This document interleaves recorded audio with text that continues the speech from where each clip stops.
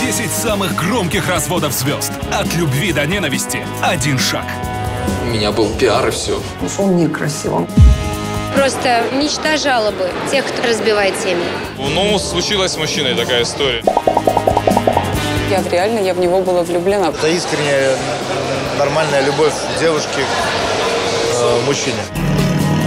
Мне совершенно все равно, какая стоит печать в моем паспорте, о разводе или о браке. Когда человек один, очень тяжело. Хотите узнать больше? Смотрите нашу программу прямо сейчас.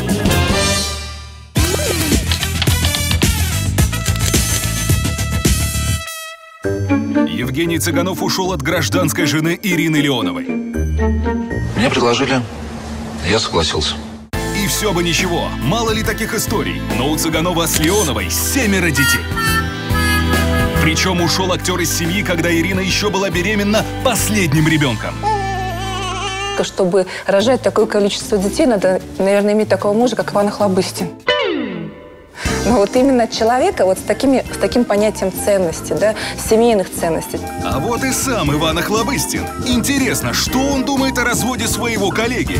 Э, Он не напоминает сумасшедшего, у него милая супруга. Я думаю, что нам не надо разбираться в этой истории. Если такая трагедия произошла, тому есть веские основания. Интересно, какие же основания были у Цыганова? Понимаешь, ты мне, ты мне врала, я шутил, я кретин, а ты дерьмо. Вначале все писали, что актер просто устал от семейной жизни. Еще бы, ведь в его случае семеро по лавкам – буквальное выражение. Человек приходит домой для того, чтобы расслабиться. Ну, вот насколько я знаю, там однокомнатная квартира. Я... Знаете, он правильно сказал, я устал.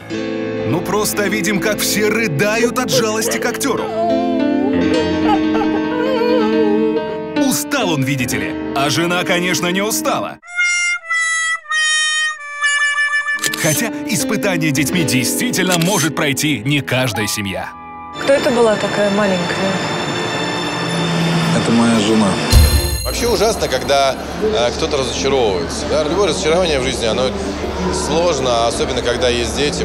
Каждый определяет для себя. Кто-то невероятный папа и большую часть времени э, проводит с детьми. Кто-то э, выбирает э, любимую и а, не выбирает детей. Кто-то совмещает и то, и другое. И, значит, там счастливая семья. Но оказывается, Цыганов ни капельки не устал. Наоборот, полон сил. Иначе как объяснить, что уйдя от жены с семью детьми, он вновь готов стать отцом? Правда, на этот раз от него беременна не жена, а актриса Юлия Снегирь, с которой у Цыганова роман. Вот уж действительно папа может. Ну, случилась с мужчиной такая история. Но я думаю, что он э, не бросает детей. Если он э, как бы подходит к этому по-мужски, то я думаю, что он не оставит детей в любом случае. Здорово. То есть прям даже не к чему вообще придраться.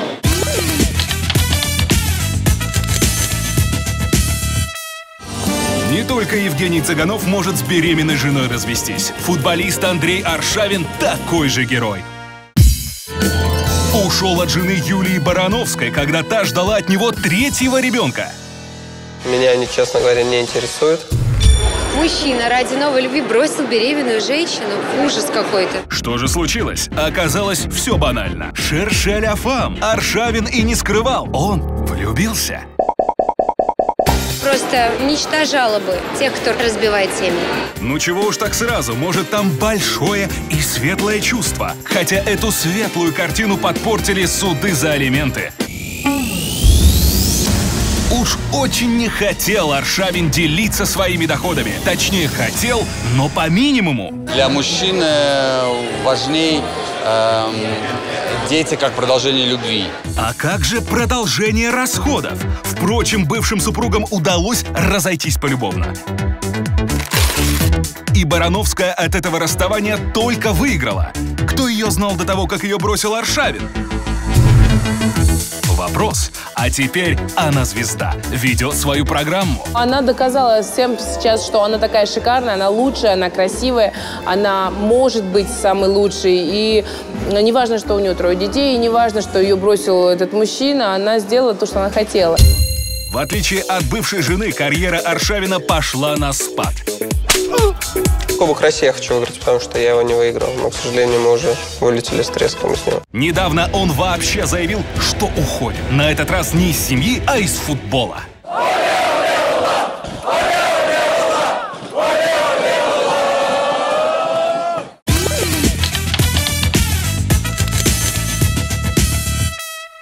Развод Прохора Шаляпина с Ларисой Копенкиной, которая старше его на 28 лет, скажем честно, никого не удивил. Другое дело новость, что их брак, оказывается, был фиктивным. По крайней мере, так утверждает сам Прохор. У меня был пиар и все. Все давным-давно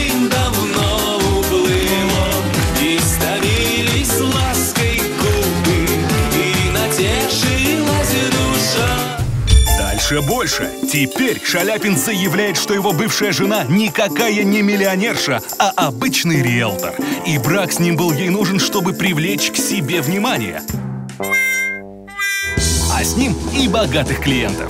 Лариса стала намного востребованнее, она ста- стала суперзвездой в России. Так был ли мальчик? В смысле, настоящий брак? Похоже, что и вправду нет.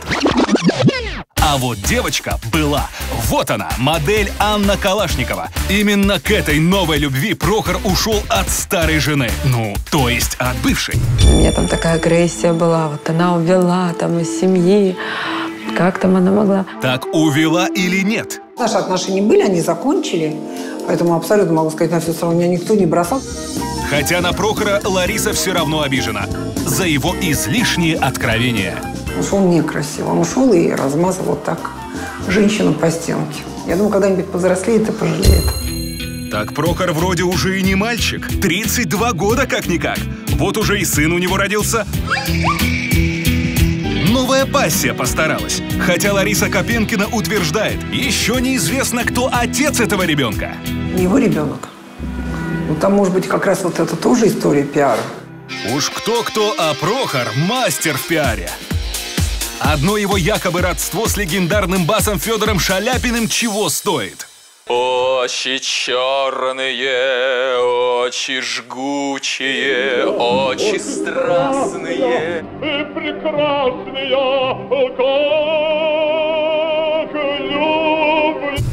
Я являюсь его потомком его младшего брата, Василия Ивановича Шаляпина. У Василия был всего один сын Игорь. Игорь, у которого детей не было. Вообще детей не, не было. Поэтому и по Василию не получается.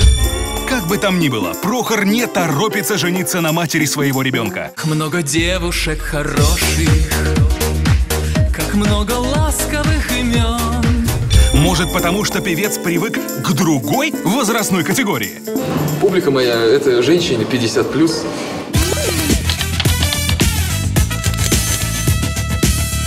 Братья Меладзе не могут жить без Виагры. В смысле, без солисток группы Виагра. Ради сексапильных красоток Валерий и Константин бросили своих жен, которые подарили им по трое детей каждому. Давай останемся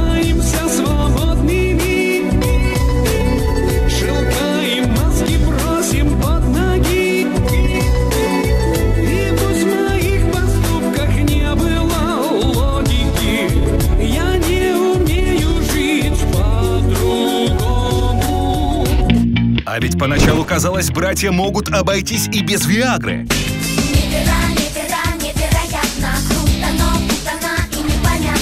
Оба долгое время были образцовыми семьянинами. Ни одного повода для сплетен, ни одной желтой статьи в прессе. Несмотря на то, что их постоянно окружали молодые певицы. Сколько себя помню, по-моему, я жил в этом состоянии влюбленности. Даже, по-моему, в детском саду. У меня учащенно билось сердце, и мне хотелось просто смотреть на нее. Смотрел, смотрел и досмотрелся. Валерий первым подмочил себе репутацию. Завел роман с Альбиной Джинабаевой. С детства там каждая девочка привыкла, там, да, что вот принц на белом коне. Что он вот такой и красивый, и смелый, и решительный. Правда, Валерий оказался не таким уж смелым. Он решился на развод только после 10 лет своих отношений с Альбиной. Не хотел обижать жену Ирину, а самое главное, переживал за троих дочек, которых он просто обожает. Я-то общаюсь со всеми детьми прекрасно. Другое дело, что, ну, в связи с тем, что произошло вот э, в жизни моей, возникло очень много проблем. Часто встречаются э, мужчины, которые, э, которые вообще хотят жить вот в таком э, в состоянии и там, и там. И вот все сидят за столом, сидят э, старшие дети, сидят младшие дети, и все его любят. Это мечта. К сожалению, редко сбывается. Сейчас у Меладзе уже пятеро детей. Недавно Альбина подарила певцу еще одного сына. Только все успокоились и перестали обсуждать личную жизнь певца, как Меладзе вновь добавил масло в огонь. Но на этот раз не Валерий, а Константин. Чем я, мол, хуже? Тоже хочу Виагру? Я в реально, я в него была влюблена. Все мужчины страны мечтают о такой Виагре, как Вера Брежнева. Глядя на нее, и таблетки никакие не нужны. А солнце светит всем одинаково Но Вера выбрала молчаливого, тихого Константина Меладзе. Оказывается, у них был долгий роман. Этому даже не помешало то, что певица за это время успела два раза побывать замужем и родить двух дочерей. Жена Меладзе узнала обо всем, как это часто бывает, последней.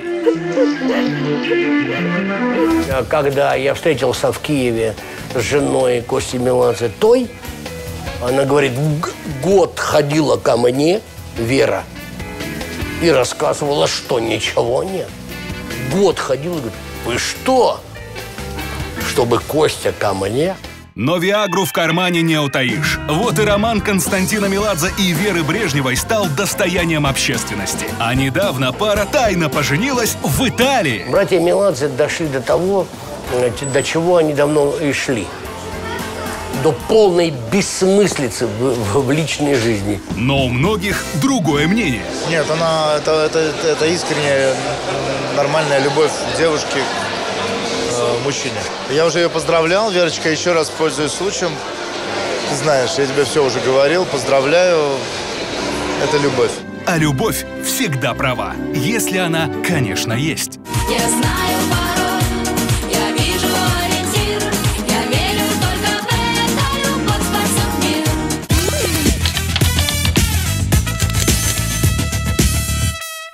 Развод Алексея Чадова и Агнии Дитковскита удивил всех. Ведь они так долго шли к своему браку. А можно вас пригласить на балет?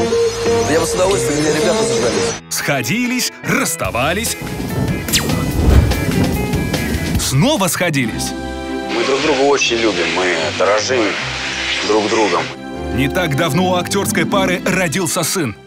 И тут развод. Так и хочется задать извечный русский вопрос. Кто виноват? Секс всему голова.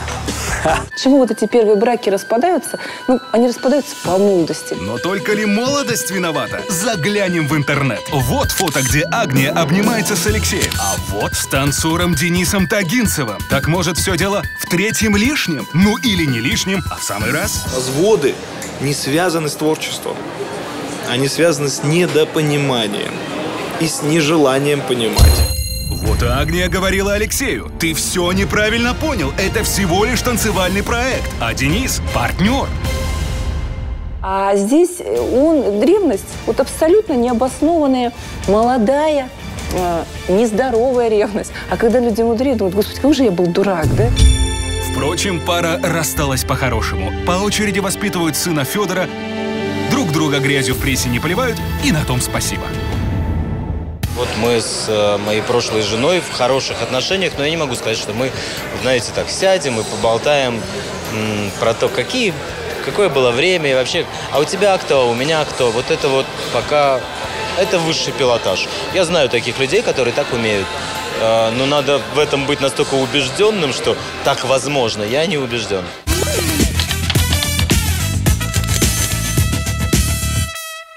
Но не всем удается расстаться по-хорошему. Марат Башаров развелся с женой актрисы Екатериной Архаровой с громким скандалом.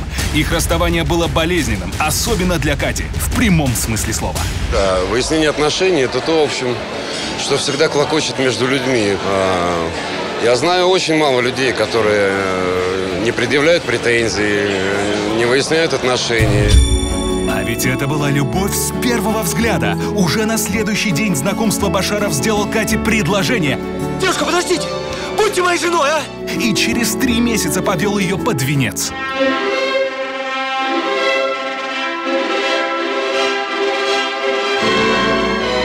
Является ли ваше желание стать супругами взаимным, свободным, искренним? Я прошу ответить жениха. Я не жених. Да, является. Ваш ответ, невеста? Да. Башаров ни на шаг не отходил от своей жены. Она тоже не могла налюбоваться на своего избранника. Супруги уже задумывались о детях. Трое. Но до детей дело не дошло. Как только медовый месяц прошел, в интернете появились сенсационные заголовки типа «Башаров в пьяном угаре поколотил свою жену». Говорит, взревновал. Вот такие высокие чувства. Что же касается Марата Башарова и эм, его рук, потому что, очевидно, он распускал руки, ну, я считаю, что женщину бить нельзя. Это как бы вот мое кредо.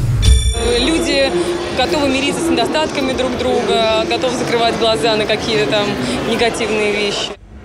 Но Катя не захотела закрывать глаза на рукоприкладство и все рассказала прессе.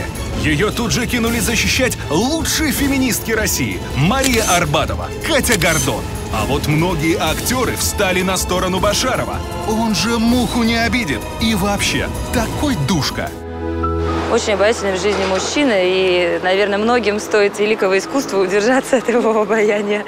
В итоге обаятельный мужчина чудом избежал статьи. Супруга Башарова отказалась от обращения в суд. Дождалась, когда синяки пройдут, и полюбовно развелась с агрессивным муженьком. Жизнь – это стиль. А стиль – это свежесть. Скользи по жизни. Я не знаю, опять-таки, что происходило в семье Башарова и Кати. Эм, они милые люди, но факт один. Нельзя трогать человека. Если ты не можешь доказать словами, уйди.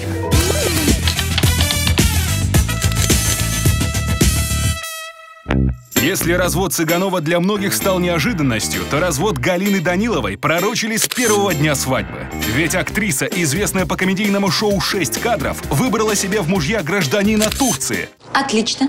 Значит, идем в ресторан. Да еще младше на 17 лет. Все в один голос твердили влюбленной женщине, он тебя просто использует.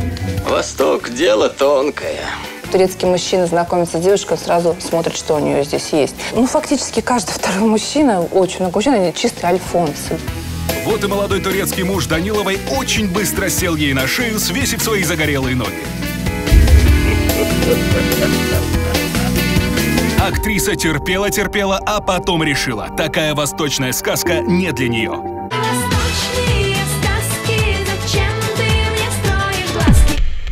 Отправила своего мужа, кстати, четвертого по счету, обратно в Турцию. Такие вот ответные санкции. У нас с папой сейчас некий переломный момент, да? Переломный некий. Уж очень важен менталитет, воспитание э, поколенческое. Я видела такие пары. Это все ненадолго. Я считаю, где родился, там и пригодился, и сгодился. Там и любовь свою нашел.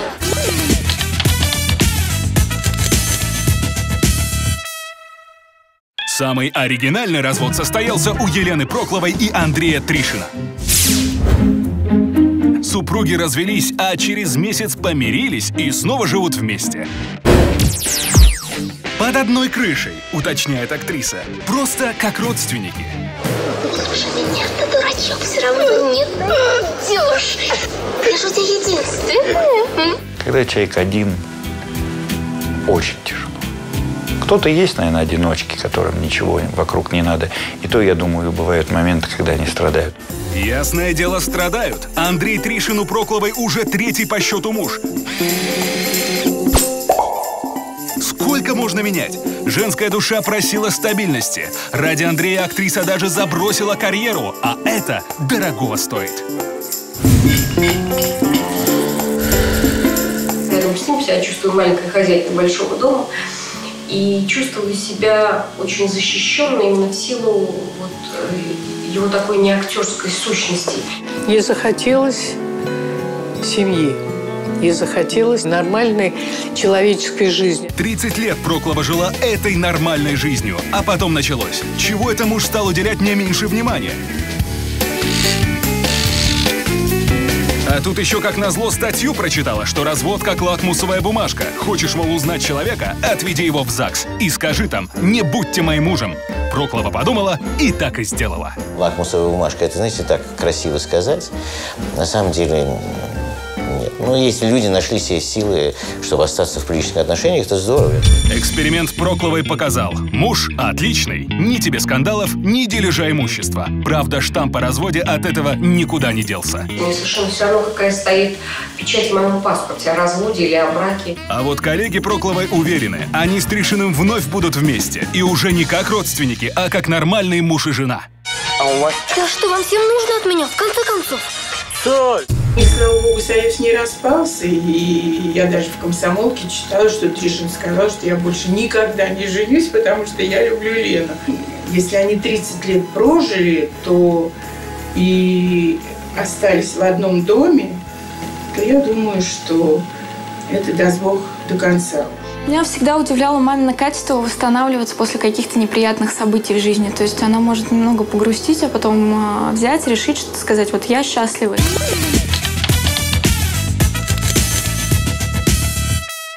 Одно дело развестись с обычным мужем, а другое с английским лордом, да еще и миллионером.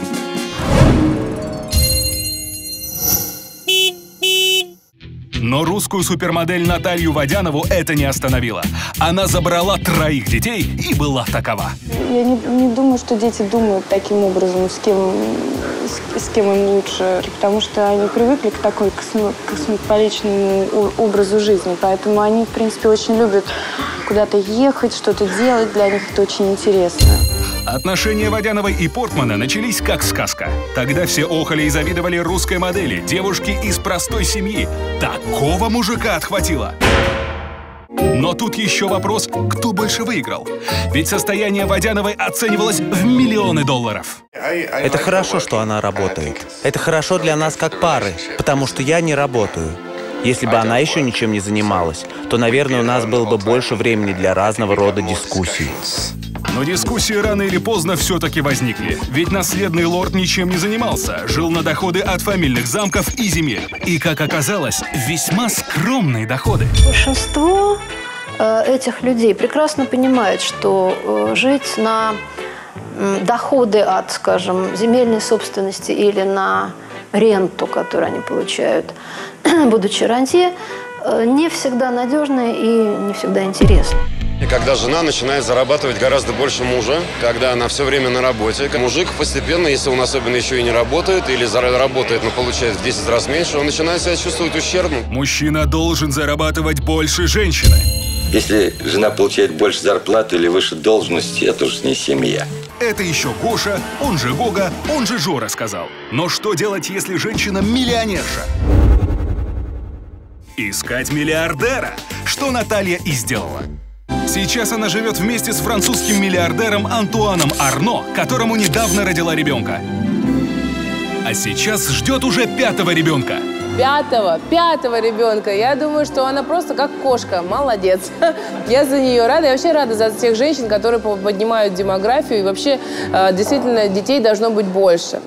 Наталья девушка, которая пробивает этот танк, э, что встретилась она с мужчиной точно таким же.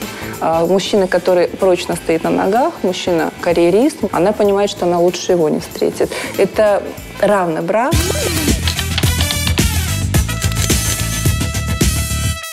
Чернокожая супермодель Наоми Кэмпбелл и русский олигарх Владислав Доронин разбежались по разным сторонам и странам. Наоми Кэмпбелл – это бешеная пантера, которую невозможно обуздать. Она может кинуть телефоном в лицо. Все-таки эта женщина должна быть поспокойнее чуть-чуть. А ведь это черно-белое кино смотрел буквально весь мир. Получится, не получится. Но мне кажется, что каждому богатому мужчине всегда хочется, чтобы рядом с ним была какая-то звезда. Хотя некоторые считают, что все это предрассудки, разговоры про разные менталитеты. Нету наций, нету стран, нет государства. Это все условности. Мы все единый один большой организм. Все человечество – это некая такая одна материя. В интернете одни судачили, что Наоми сбежала из России, потому что замерзла тут, видите ли. И меха, подаренные Дорониным, не помогли. Другие — это олигарх ее поматросил и бросил. Захотел помоложе. И ведь нашел. Его избраннице 22 года, и она ждет ребенка. Вот-вот. И чего на заморских девиц смотреть? Своих, что ли, красавиц не хватает? Мы такая сильная страна, мы такая нация, у нас такая кровь, гены. И Гены, и Славы, и Сережи. Хотя, может быть, и не важно это для счастливой семейной жизни. Главное, чтобы человек был хороший. 10 самых новые рейтинги в наших новых программах.